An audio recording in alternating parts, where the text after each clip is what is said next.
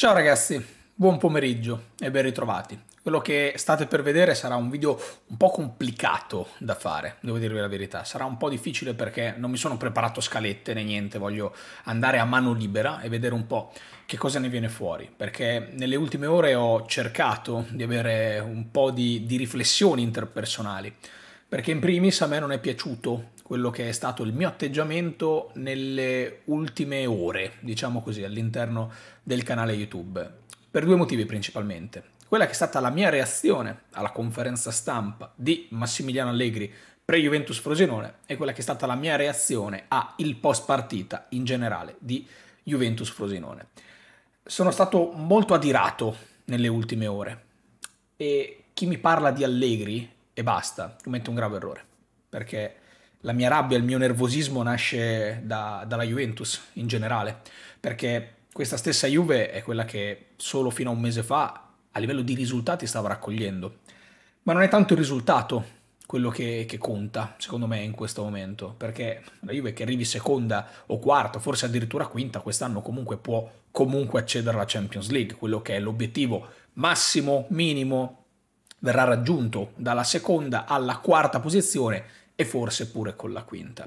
Io credo che sia necessario però in questo momento distaccarsi semplicemente da quella che è l'analisi a livello del risultato. Quello è una conseguenza, è quello che poi verrà successivamente. Io la domanda eh, che mi faccio e a cui mi do una risposta, la risposta è no, è la seguente. Quanto so- sono soddisfatto al 100% di questa Juventus? La risposta per me è no e non parte solo da Allegri perché io anche ieri ho ribadito con forza, già nel, pro, nel, post partita e anche all'interno della live, nella live reaction, che io sono tremendamente deluso da quello che è l'atteggiamento dei giocatori. Forse qui non si sta capendo che sia la Juventus e alla Juventus si lavora e si scende in campo sempre per cercare di confermare anche la permanenza alla Juventus.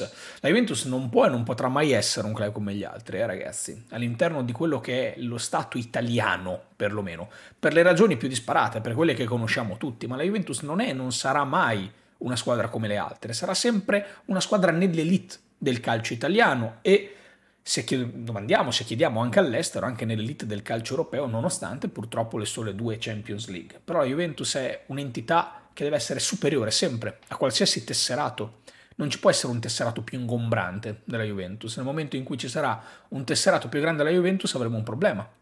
Sarà un vero e proprio problema. E quindi vi dico, io sono molto arrabbiato con i calciatori, perché la grande differenza in questo momento, oltre al caos che noto in Massimiliano Allegri, e lo noto in maniera concreta, è appunto questo atteggiamento dei giocatori. Tanti si stanno giocando anche magari un'eventuale riconferma, eh? dal punto di vista dell'atteggiamento nemmeno delle prestazioni, dell'atteggiamento. Esempio, ieri Cambiaso non fa una partita eccezionale, però quanto ci ha dato tutto dentro quella partita? Lo stesso McKenny ha fatto una prestazione in cui ha sbagliato dei palloni anche banali per quella che è la sua stagione, per quello che è il suo grado di maturazione attuale.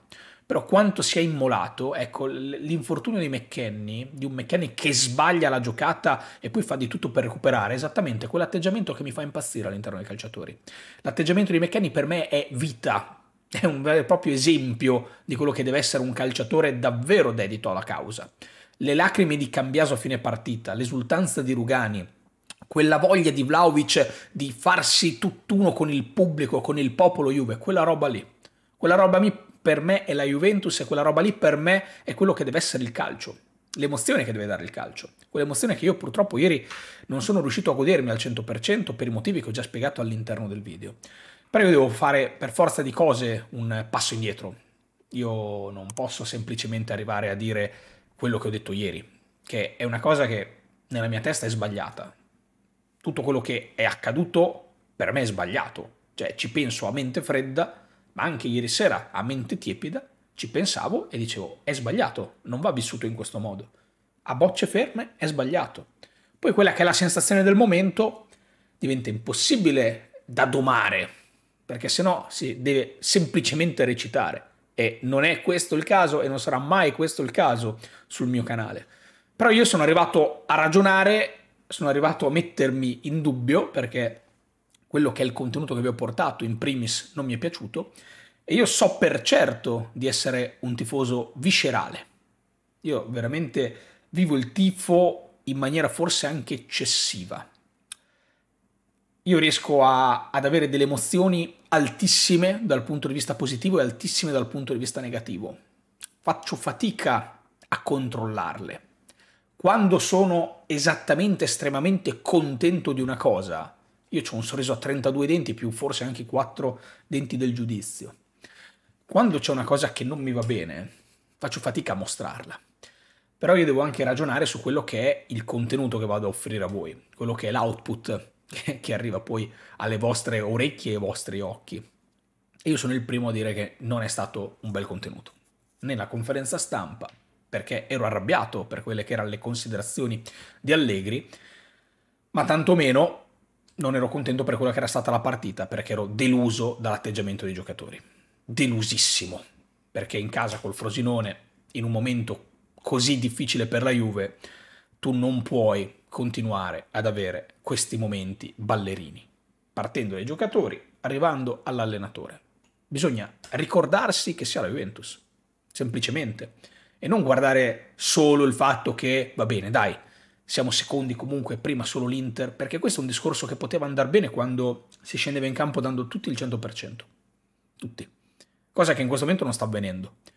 Arrivare secondo a meno 15 10, 12, quelli che saranno, non è arrivare secondo a meno 4. Sono due concetti diversi, sono due mondi diversi. Non bisogna solo guardare la classifica, posizione 1, posizione 2, posizione 3, posizione 4. Cioè se tutti quelli dietro di me sono più scarsi, allora magari arrivo davanti. Se quello davanti a me è terribilmente più forte, allora magari arrivo lì. Però la stagione deve continuare, non può interrompersi perché una cosa non è andata come volevamo. Non può essere semplicemente questo. E quindi la Juventus deve per forza di cose dare continuità a quanto di buono fatto nella prima parte. E poi arriviamo a me. Arriviamo a quella che, che deve essere per forza di cose un'autocritica, una riflessione personale. Perché devo migliorare, io in primis, dal punto di vista personale, è la prima cosa che deve migliorare dal punto di vista personale, trovare quell'equilibrio in grado di non fare queste montagne russe dal punto di vista umorale, ma soprattutto dal punto di vista professionale, perché questo per me è un lavoro, è una professione a tempo non pieno, ma pienissimo, perché si lavora 7 su 7, non ci sono giorni liberi, magari ci sono dei momenti liberi durante le giornate, ma si è sempre costantemente immersi all'interno di questo mondo, sempre costantemente immersi, e quindi io dal punto di vista personale e professionale devo cercare di, di, migliorare per forza di cose, perché dall'altra parte c'è una community, c'è un pubblico che per fortuna è, è ampio, se non ampissimo, che siete voi, e avete diritto ad osservare dei contenuti che non siano sempre fortemente dettati da un'emotività che eh, purtroppo, per fortuna, scegliete voi, eh, all'interno della mia mente e della mia persona è, è straripante, è straripante.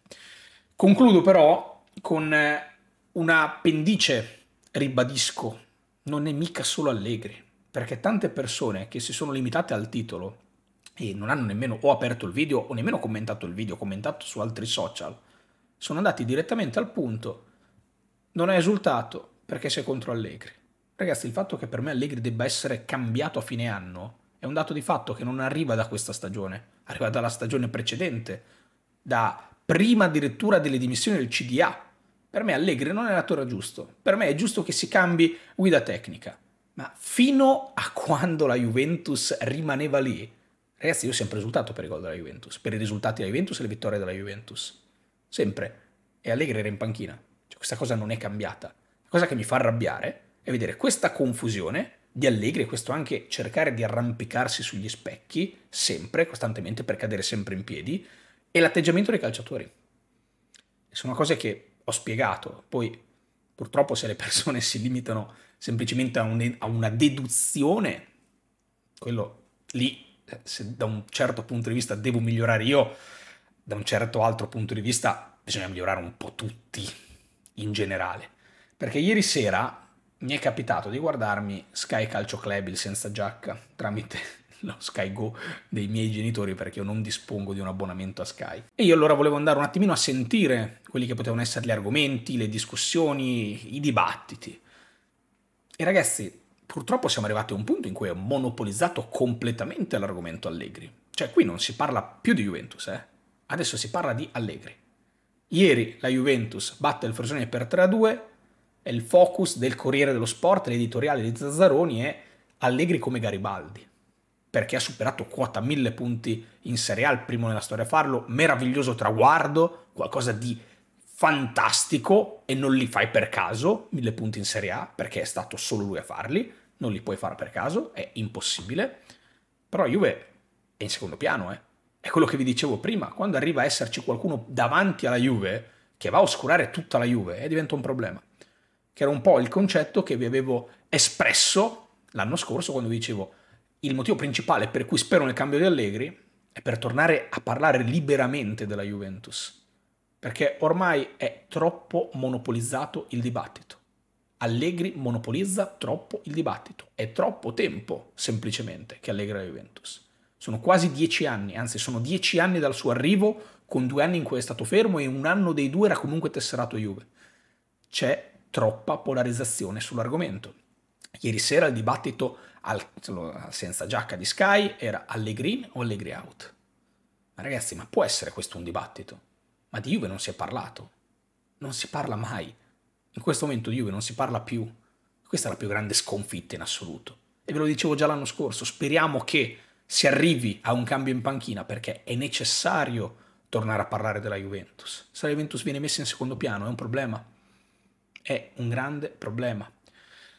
E poi, perdonatemi, però un pochettino devo fare anche l'avvocato del diavolo. Sono pensieri che ho fatto quando sempre ieri sera al club, e tra l'altro c'è, stata eh, una, una, buona integrazione da parte eh, di un giornalista del club, perché proprio Bucciantini va a fare la stessa analisi che avevo fatto l'anno scorso e che riprendo fuori proprio perché ieri sera è tornato fuori questo concetto, e cioè la Juve deve riessere messa ancora una volta davanti a tutto, deve essere i buoi la Juventus, non il carro, deve essere i buoi, ok? Questa è un po' la metafora che vi voglio passare.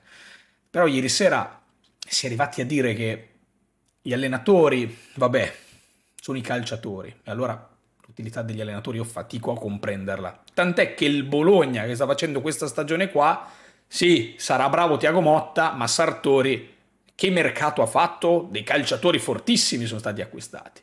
Ragazzi, io credo che francamente questo sia anche un, un, un po' troppo. E quando si arriva a fare dei riferimenti di questo tipo, perché il discorso precedente era Allegri Allegri out e Caressa ovviamente va confermato, rinnovato perché ha raggiunto tutti gli obiettivi. E poi si parla di Tiago Motta, sì vabbè però che mercato che gli ha fatto Sartori? Allora perdonatemi, provo a, a perdermi all'interno di, di, di quella che può essere, può essere una previsione. Io a questo punto inizio a pensare veramente che dentro la Juventus ci sia la volontà di salutare Allegri per far arrivare Tiago Motta. E che questi siano i primi tentativi per cercare di far passare il confronto, no? Allegri come Garibaldi, ieri sera Allegri il miglior dirigente europeo, dice Caressa, invece Tiago Motta, eh però guardate che mercato gli ha fatto Sartori, tant'è che poi gli domandano, ma scusa Fabio, ma tu Calafiori te lo aspettavi così forte? La sua risposta è comica perché è no, e quindi va a smontare completamente tutto il suo discorso. E tra Caressa e Allegri c'è un legame di amicizia, non lo scopriamo certo oggi. Tra Allegri e Zazzaroni c'è un legame di amicizia, non lo scopriamo certo oggi. E quello che vi dico, quando arriva ad essere più la figura, allenatore, giocatore, dirigente, piuttosto che la Juventus, diventa un problema. Perché poi nascono delle vere e proprie fazioni politiche. Ieri sera Caressa ha fatto un discorso interessante dicendo non bisogna partire con dei preconcetti nell'analisi, non se sono Allegri vado tutto dalla parte di Allegri, sono Allegri out tutto dalla parte di Allegri. Ecco, io questo nel mio piccolo, per quanto possa aver sbagliato nelle ultime ore, sono convinto di averlo sempre fatto. Questo credo che sia uno dei grandi pregi del mio canale, che per qualcuno è un grande difetto, perché qualcuno lo vede come uno, eh, eh gli sali sul carro di questo o quell'altro, io ragazzi sono nel carro della Juventus, sempre comunque sul carro della Juventus, a prescindere da chi l'allena. Io mi auguro che la Juventus possa arrivare quanti più punti vicino all'Inter se non scavalcarla in una rimonta che ha dell'impossibile. Spero che la Juventus possa vincere la Coppa Italia, spero che la Juventus possa non perdere più una partita da qui a fine stagione, ma sono fortemente deluso di quello che è l'output della Juventus da Empoli in poi. Per questo sono amareggiato, perché considero che non sia stato fatto un lavoro eccellente nelle ultime partite. Ma come loro devono fare autocritica, la devo fare anch'io. E devo semplicemente cercare di farmi influenzare da quella che è un'emotività, in questo momento fortemente negativa, non posso nascondervela. È così, per forza di cose. Quindi, niente, il discorso è il seguente. Mm, giocatori, allegri, dirigenza, tutti, eh, in questo momento sono sulla graticola tutti perché una stagione dura da settembre, agosto, quello che è, fino a maggio, giugno, quello che è.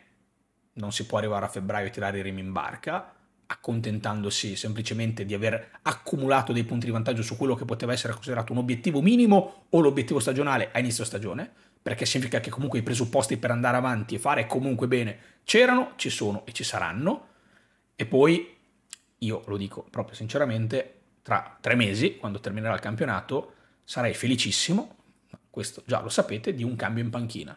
Non perché si gioca male, non perché Allegri mi sta sul cazzo, non per questo o quell'altro, ma perché inizia a diventare troppo tossico, troppo tossico parlare di Juventus. Perché qualsiasi azione, qualsiasi parola, mezza frase va a ricondursi a una scelta politica. Destra o sinistra, Allegri deve in o Allegri deve out? Oh, ragazzi, c'è tanto altro in mezzo. Come c'è tanto altro rispetto a guardare la classifica e dire, beh, la Juve è seconda, quindi non ci sono problemi perché l'Inter è troppo forte. No, c'è tanto altro in mezzo pure lì. Ciao.